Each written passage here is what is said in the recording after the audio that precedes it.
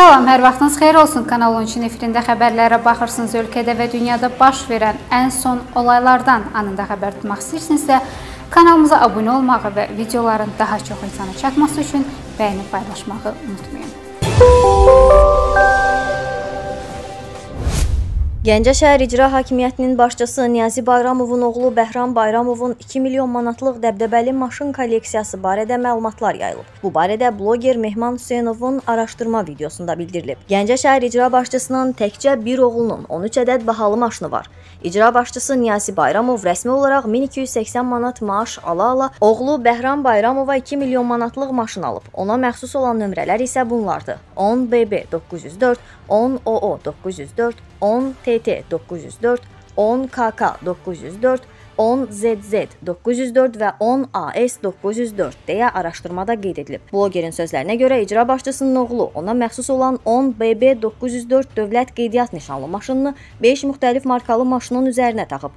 Bu 5 maşın Jeep, Range Rover, Bentley, Porsche və Mercedes-in ümumi qiyməti isə 1 milyon manata yaxındır. Bundan əlavə Bəhram Bayramova məxsus olan 10 OO 904 dövlət qeydiyyat nişanı 3 müxtəlif markalı avtomobildə BMW X7, BMW M7 və Mercedes Gelandewagen-də istifadə olunub. Bu maşınların ümumi dəyəri isə 650 min manatdır. Daha bir nəticəyə gəlmək olar ki, Bəhram Bayramovun şəxsən öz adına olan 2 nömrə 8 müxtəlif avtomobilin üzərindədir. Bu 8 maşının ümumi dəyəri isə 2 milyon manata yaxındır deyə bloger bildirib. O, həmçinin qeyd edib ki, 10 KK 904 və 10 TT 904 nömrələri Aslanov Rüstəm Vidadoğlunun adına olsa da, Bəhram Bayramovla birbaşa əlaqəsi var. Rüşvət almaqla bağlı səs yazısı yayılan Şabran rayon polis şöbəsinin Dövlət Yol Polisi bölməsinin rəisi işdən çıxarılıb. Oxaza istinadla xəbər verir ki, polis baş leytenantı Vasif Bəşirlinin pul tələb etdiyini əks etdirən səs yazısı ilə bağlı iddia barədə araşdırma aparılıb. Aparılan araşdırmaların nəticəsindən sonra Bəşirli Ağsu rayon polis şöbəsinin Dövlət Yol Polisi bölməsində baş inspektor vəzifəsinə təyin edilib. Hazırda Şabran rayon polis şöbəsinin Dövlət Yol Polisi bölməsinin rəisi vəzifəsinə isə təyinat yoxdur. Qeyd olunub ki, bir müddət əvvəl sosial şəbəkələrdə Bəşirlinin kimləsə əlbir olaraq müxtəlif şəxslərdən rüşvət alaraq onları rayon ərazisində işə düzəldəcəyi barədə səs yazısı yayılıb. Sözgedən səs yazısında onun əlbir olduğu adamdan 400-500 manat pul tələb etdiyi qeyd olunub. Əladır, əladır. 400-500 manat ki, qarşı 50 yeri bölü. Saatla normal olsun, manat olsun. Fəhliyə də 300 manat aşağı fəhlə. Bir ay bizə versin. Cəmaat 400 manat işləyib. 10 min manat tökür. Bir ay bizə versin də canı çıxır. Vətəndaş və İnkişaf Partiyasının həbsdə olan sədri Əli Əliyev həbsxanada davaya qarışıb. Onun Bakı İstintaq Təcridxanasında kamera yoldaşına xəsarət yetirdiyi bildirilir. Faktla bağlı Sabunçu rayon polis idarəsində araşdırma aparılır. Əli Əliyev iş üzrə şahid qismində dindirilib. Qeyd edək ki, partiya sədri 3 müxtəlif şəxs tərəfindən xüsusi ittiham qaydasında şikayət olunub. Məhkəmə onun ümumilikdə 1 il müddəti azadlıqdan məhrum edilməsinə qərar verib. Əli Əliyevin həbs müddəti yanvarda başa çatır. Dövlət Yanğın Nəzarəti Xidmətinin əməkdaşları tərəfindən Tərtər rayonunun Seydimli kəndi ərazisində uzun müddət konserv edilmiş neft quyularından qeyri-qanuni yolla kustar üsulla nefti əldə edərək kanisterlərə yığılması və satış məqsədi ilə minik avtomobilinin yük hissəsində daşınmasını həyata keçirən şəxslər müəyyən edilib. Bu barədə Fövqəladə Hallar Nazirliyinin mətbuat xidməti məlumat yayıb. Bildirilib ki, qanunsuz fəaliyyətlə məşğul olan işbazlar tərəfindən 20-yə yaxın quyudan kustar üsulla yanğın təhlükəsizliyi qaydalarının tələblərinə zidd olaraq neftin əldə edilməsi, yaşayış yaşayış yerini, həyətyanı sahəsində yığılması və daşınması yanğın təhlükəsini yaratmaqla baş verə biləcək yanğının qısa zamanda geniş əraziyə yayılmasına, eləcə də təbiətə, insan həyatı və sağlamlığına təhlükə riskinə səbəb olur. Yuxarıda qeyd olunanları nəzərə alaraq yanğın təhlükəsizliyinin təmin edilməsi məqsədi ilə Azərbaycan Respublikasında yanğın təhlükəsizliyi qaydalarının müvafiq maddələrinin tələblərinə zidd olaraq xam neftin qanunsuz yığımını, saxlanmasını və daşınmasını təşkil etmiş Hüseynov Nazim Şirinoğlu və Hümbət Əliyev Eyvaz Cəbrayılovlu barəsində Fövqəladə Hallar Nazirliyinin Dövlət Yanğın Nəzarəti Xidmətində fakt rəsmiləşdirilib və qanunvericilikdə nəzərdə tutulmuş qaydada müvafiq tədbirlərin görülməsi üçün aidiyyatı üzrə müraciət edilib.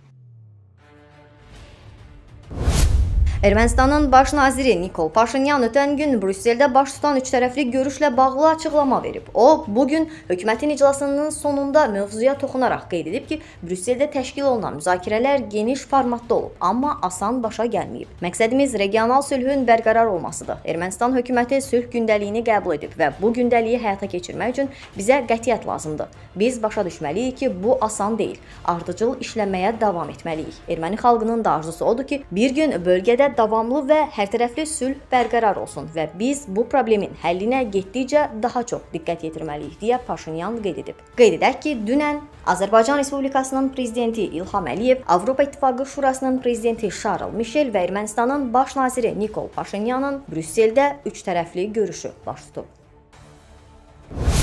Ermənistan parlamentinin keçmiş deputatı Nayira Zöhrabyan Mikayıl Arzumanyanın həbsindən danışıb. Zöhrabyan Ermənistan Silahlı Qüvvələrinin baş qərargahının keçmiş rəisi Alek Gasparyan və erməni quldur dəstəsinin Qarabağdakı keçmiş komandanı Cəlal Arutyunyanın da həbs olunacağını iddia edir. Onun sözlərinə görə həmçinin erməni separatçılarının lideri Arayik Arutyunyanın da həbsi gözlənilir. Əlbəttə cavab verəcəklər. Arayiklər, Cəlallar və digər ləyaqətsiz Paşinyanın arxasında gizlənən məğlubiyyətə düçar olacaqlar var. Zabitlər elə düşünürlər ki, kolun arxasında gizlənərək özlərini sığortalayacaqlar və tutulmayacaqlar. Dərindən yanılırlar. Nikol hamınızı bir-bir həbs edəcək. Yaxın zamanlarda Arayik Arutyunyan da həbs olunacaq deyə o əlavə edib.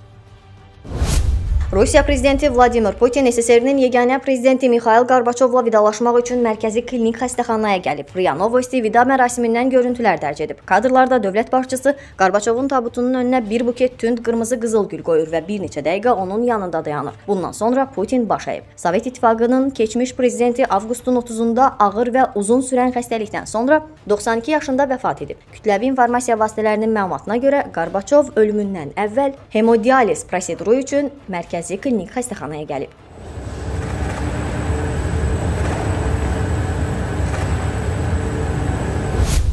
Əksər belaruslar kimi mən də Rusiyanın Ukraynadakı hərəkətlərini dəstəkləyirəm. Bunu Belarus prezidenti Aleksandr Lukashenko deyib. Rusiya uduza orada məğlub ola bilməz deyə Lukashenko bildirib.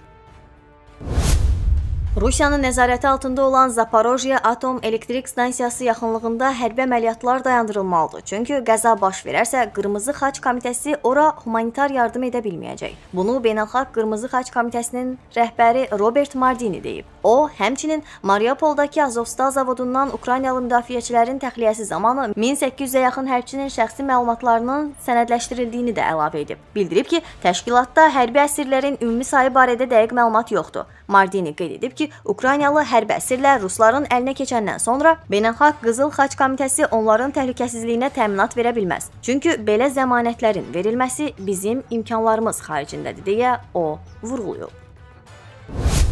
Ekologiya və Təbii Sərvətlər Nazirliyinin Milli Hidrometeorologiya Xidmətindən verilən məlumata görə sentyabrın 2-sində Bakıda və Abşeron yarımadasında hava şəraiti əsasən yağmursuz keçəcək. Cənub-şərq küləyi əsəcək. Havanın temperaturu gecə 20-25, gündüz 33-38 dərəcə, Bakıda gecə 22-24, gündüz 36-38 dərəcə isti olacaq. Atmosfer təzyiqi 758 mm civə sunu, nisbi rütubət 60-70% təşkil edəcək. Azərbaycanın rayonlarında hava əsasən yağmursuz olacaq. Şərq küləyi əsəcək. Bəzi yerlərdə arabir güclənəcək. Havanın temperaturu temperaturu gecə 18-23, gündüz 35-40 dərəcə, dağlarda gecə 12-17, gündüz 24-29 dərəcə isti olacaq.